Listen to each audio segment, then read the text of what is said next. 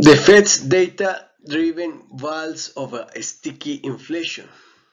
Welcome to today's in-depth discussion where we analyze recent Federal Reserve activities and their substantial ripple effects across global financial markets and domestic policies. We'll explore the nuanced signals from the Fed contrasted against the backdrop of mixed economic data and their implications on market dynamics and investor sentiments. In a recent development that left many analysts and investors puzzled, Federal Reserve Chair Jay Powell exhibited an unexpectedly dovish stance in his commentary following the Fed's policy announcement.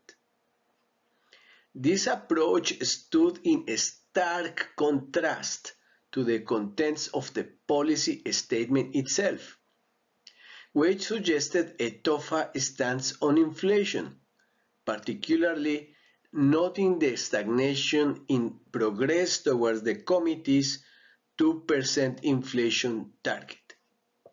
Here we have the two-year Treasury uh, bond yield in April uh, 30, May the 1st, when we have the Federal Reserve um, uh, talk, and then uh, you can see how after the, the talk, the, the yields carry on falling down, meaning that bonds prices increase. So the market reaction after the Fed steady states Reacting to Powell's dovish signals, the financial markets experienced a brief period of optimism and reflected uh, this was reflected by a decrease in interest rates and a rally in stock prices though these effects were somewhat transient the subsequent economic data particularly softer employment numbers seemed to validate Powell's cautious stance, leading to the first simultaneous weekly gain for the Standard & Poor's and Treasuries in over a month.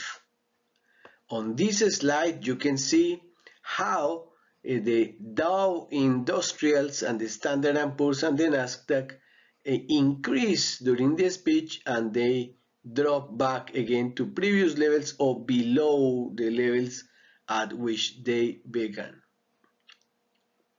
Interestingly, uh, the Fed said that it's unlikely that the next um, committee there will be a hike.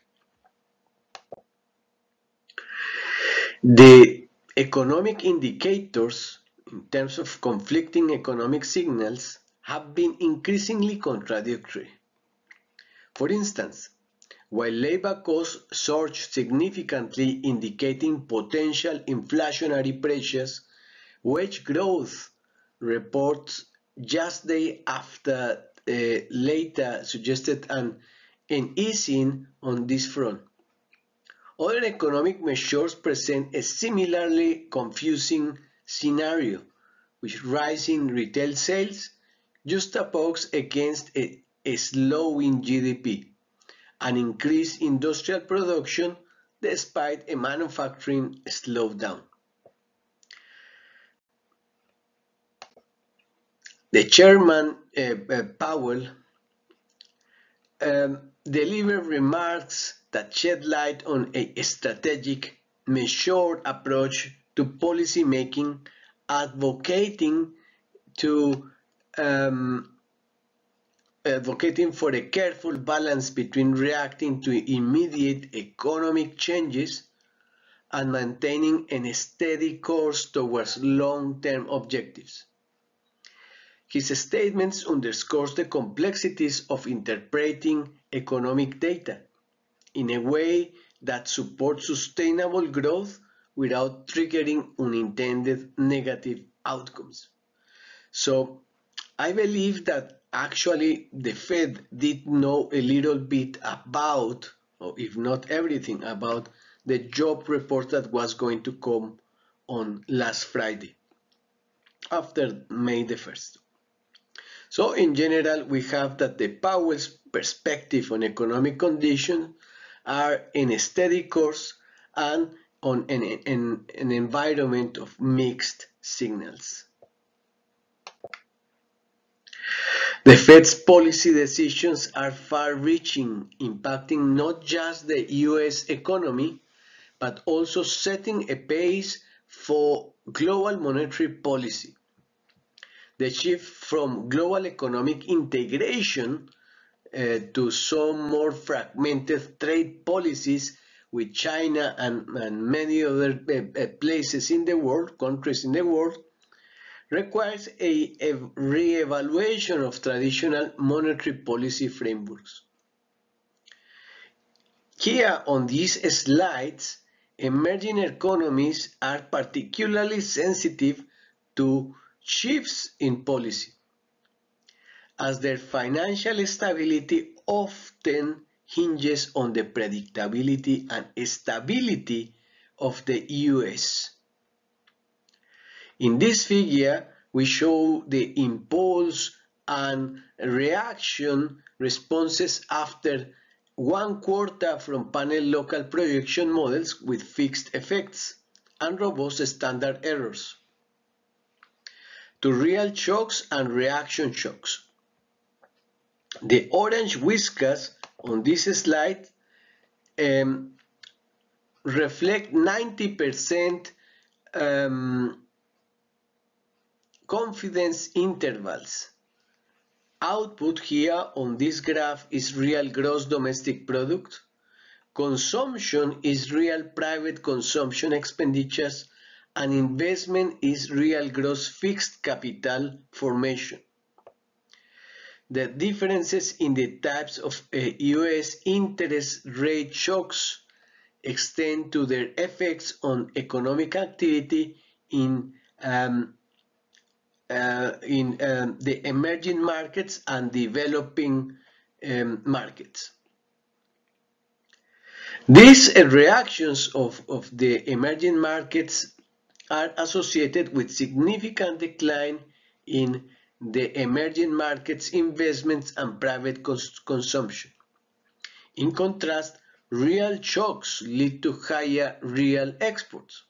So there is a very big uh, a difference between real shocks and reaction shocks, as you can see here. Shall we dance the song and uh, buy treasuries? Well, we know that we have stable interest rates, a mixed outlook, and uh, perhaps potential volatility. As we delve into the current economic environment shaped by the um, Federal Reserve's policies, a critical question emerges for savvy investors. With Treasury yields hovering around 5%, does it make sense to buy US Treasuries? This decision is particularly compelling given the evolving macroeconomic policies and the uncertain economic forecast. From a modern economic perspective, higher treasury yields in a context of cautious central bank communication suggest an attractive risk-reward ratio for investors. This is good if, if we want to invest or if someone wants to invest in uh, treasuries. These yields significantly high, are significantly higher than in recent years and provide an opportunity for portfolio diversification and risk management, especially in times of economic uncertainty and inflationary pressures.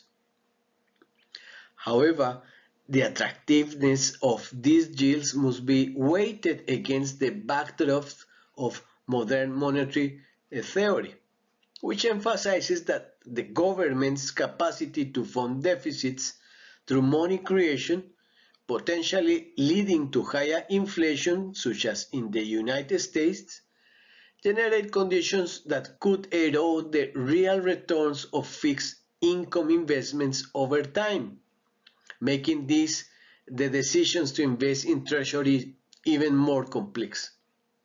Indeed, we have a, um, a government in the United States that is uh, actually funding all their fiscal policies with uh, more debt.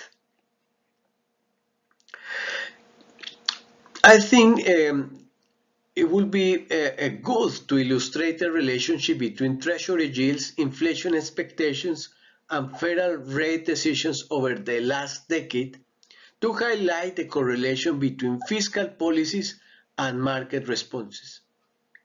Investors must also consider the role of international economic dynamics.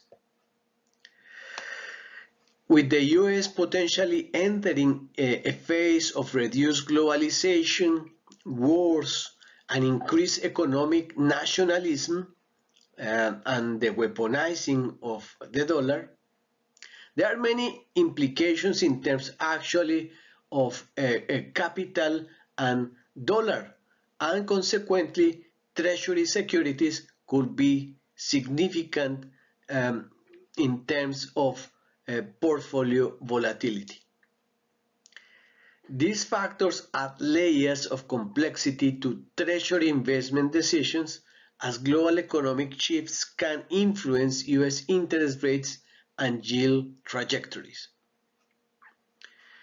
In today's economic climate, understanding the interplay between fiscal policy, central bank actions, and global economic trends is crucial for investors considering uh, treasuries. The modern economic approach advises a careful analysis of not just current yield rates, which are very nice, very uh, high uh, historically, but also we need to consider the broader fiscal and monetary policies and their long-term implications on market stability and inflation.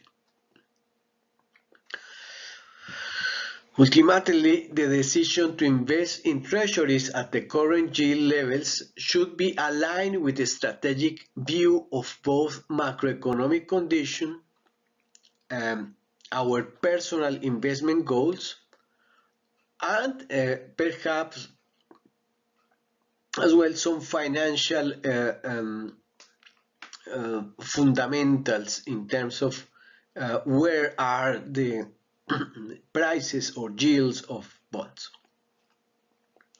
While current yields offer a tempting income stream, they come with the need for vigilance against potential economic shifts that could affect future interest rates and inflation scenarios.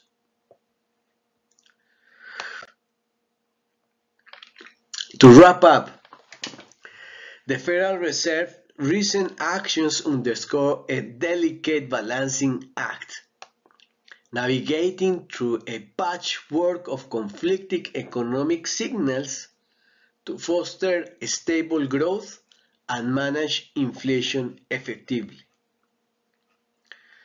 As we proceed, the ability of the Fed to adapt its policy framework in response to both domestic and global economic changes will be crucial.